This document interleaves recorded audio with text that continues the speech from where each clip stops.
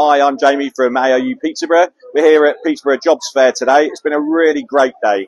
It's been great to see so many people engaged, wanting to talk to us, going around all the different stalls, and we're looking forward to coming back next time.